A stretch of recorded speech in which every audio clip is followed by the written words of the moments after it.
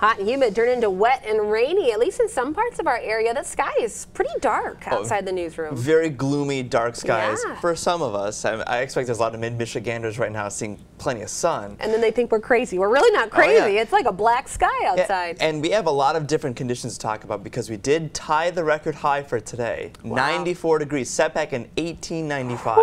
It's been a while since we've seen a, a day this hot to end summer crazy. Yeah, so we'll talk about the radar. We'll start with temperatures. Okay. This is very noteworthy. Look, over 90. Now, these are the highs, not the currents. It was uh, well over 90 for pretty much all of mid-Michigan today.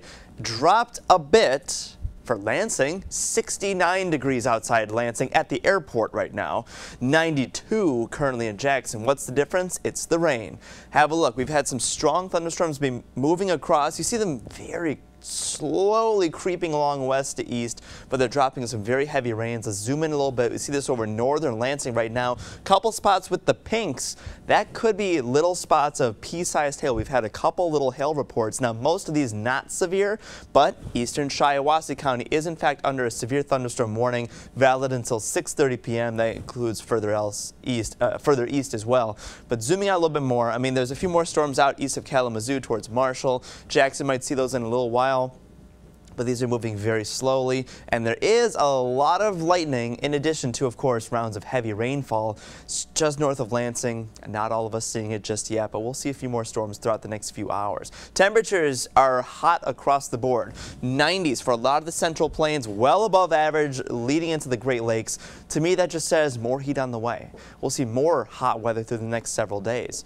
Uh, follow up Hurricane Maria, actually now it's a category three. I meant to change that. Category three. You do see a little bit of an eye there, strengthening a little bit again as we go through our forecast. She's going to maintain three status for a little while longer in the eastern Bahamas here. Weaken very slowly. She could still maintain hurricane status for a while, for days to come, but not going to impact the mainland U.S. a whole lot. That's good news, of course. Now, very hot and humid conditions here. Going to be high impact temperatures. Record high temps possible for the next couple of days. More days in the 90s, probably through Saturday, maybe through Sunday. And then on top of that, no real rain expected beyond this evening. We should see plenty of sunshine in our future track tonight. For a few more hours, expect scattered thunderstorms that could still fire up.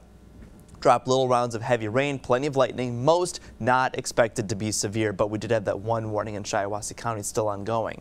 Later on, after the evening, I'm thinking probably by 9, 10 at the latest, really, we could see some clearing skies. We'll cool down a little bit, the storms will taper off, and then we'll see some clearing skies tonight into tomorrow, Friday.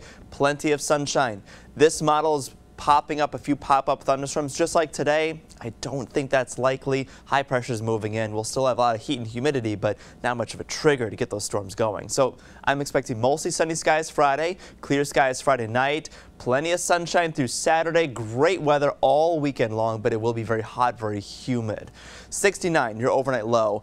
Evening storms, but otherwise clearing later on. Tomorrow, about up to 93. Got up to 94 today. I expect pretty similar conditions for tomorrow. Hot and humid, mostly sunny. Could tie or break another record. Winds out of the southwest. Into the weekend, though, Saturday, Sunday, 90, 92 each. Sunny skies, hot and humid, but otherwise really quite calm conditions. Into next week, it drops a little bit, very slowly, a lot of 80s. And then uh, thunderstorms likely, I would say, by about Wednesday. That should be a cold front, and then it gets less warm. More like fall. So you get a little bit of a reprieve, something a, more seasonal. a little bit, you know, step by step. It's yeah. still a very hot forecast for this time of year, and tomorrow is the official start of fall. It will not feel like fall. Yeah, it certainly will not. Not if we're in the 90s. Mm -hmm. Dustin, thank you.